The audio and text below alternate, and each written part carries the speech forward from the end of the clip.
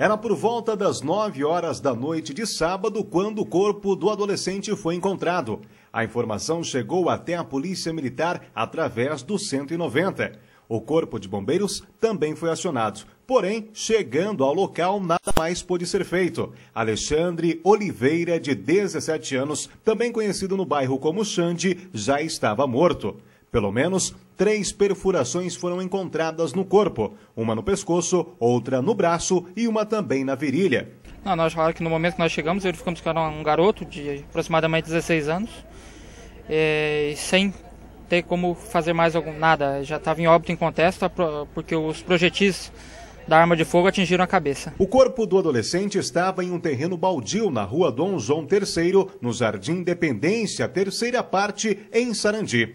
Vizinhos contaram que chamaram a polícia assim que escutaram os tiros e viram o adolescente ferido sendo arrastado por outros jovens até o local. Então, diante dessa informação, a equipe esteve até o local né, e localizou o corpo de uma pessoa do sexo é, masculino é, caído aqui no matagal. Né?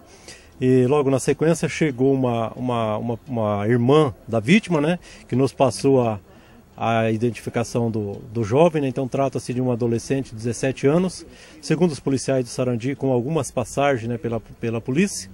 E segundo informações também, ele estaria envolvido aí no tráfico de droga, né? Então, é, infelizmente aí é mais uma, uma, uma pessoa, né, que foi vítima foi, foi vítima de, de, homicídio né, na cidade de Sarandi. Alexandre era morador do bairro e vivia com a família na rua Duque de Caxias. Ele foi reconhecido ainda no local pela própria irmã.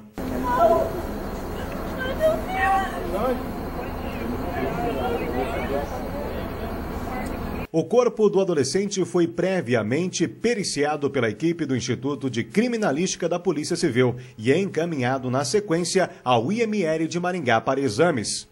Foi constatado seis lesões com características pérfuro-contusas. É, infelizmente ali, nenhuma chance ali para a vítima. Né?